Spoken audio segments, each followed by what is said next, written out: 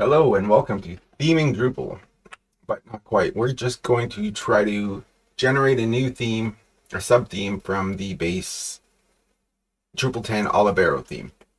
All right, let's check this out. Uh, for the casual user, again, this is daunting as fuck. Look at this. I saw a creating sub-themes. Here we go. Generating a new theme using starter kit. A kx starter kit would be that base theme i'm talking about i guess. Um, tell you the truth this is my first time trying to generate one in drupal 10 i just opened up a terminal. We are going to go into our directory with a drupal 10 site i had on the go. And it is very basic. If you saw any of my earlier videos it is the same installation with an faq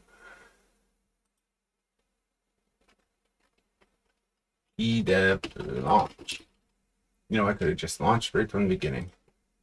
Anyhow, this is the Drupal 8 uh, 10 site. This is the Olivero theme. We'll go to Appearance.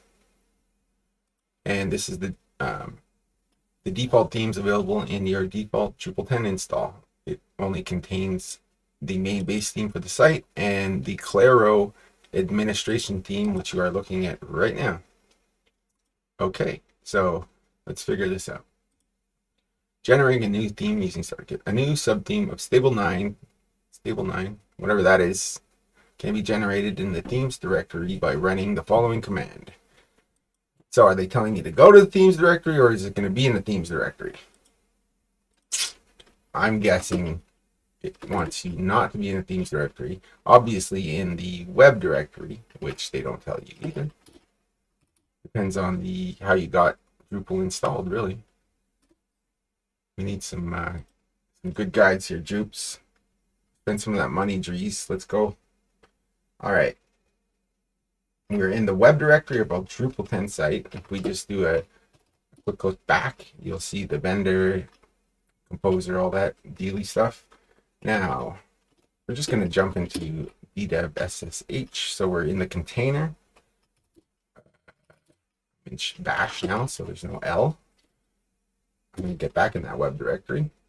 And we're going to try to copy and paste the fluffiness PHP core scripts Drupal generate three theme fluffiness. So it's going to look for core scripts Drupal, which will be a PHP script, and it'll have the arguments generate theme, and then you'll have to provide uh, your argument for that argument. So I'm guessing it's not an argument. It's a whatever you call it.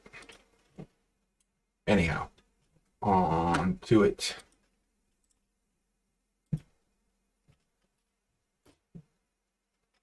Theme generated successfully to themes fluffiness. After all that bashing, look how nice that is. Let's just take a quick look at core scripts Drupal, see what it actually did. We should have did this beforehand. I forgot I'm not in Z O my Z S H. So I'm catting instead of batting.